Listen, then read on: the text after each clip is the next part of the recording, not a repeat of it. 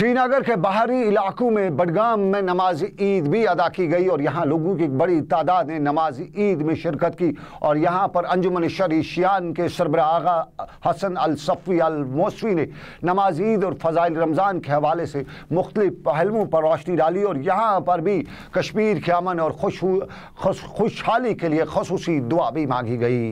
अनंतनाग में भी नमाज़ ईद हनफिया ईदगाह में अदा की गई जहाँ पर फर्जंदान तोहद ने शिरकत की और रबी कायनात के सामने सर्वसजूद होकर यहाँ पर अपने गुनाहों से माफ़ी भी मांगी। यहाँ मीर वाइज जनूबी कश्मीर, काजी यासिर ने लोगों से खताब करते हुए फ़लसफ़ा ईद पर रोशनी डाली और वादी कश्मीर के अमन और खुश खुश खुशहाली के लिए खसूसी दुआ भी मांगी।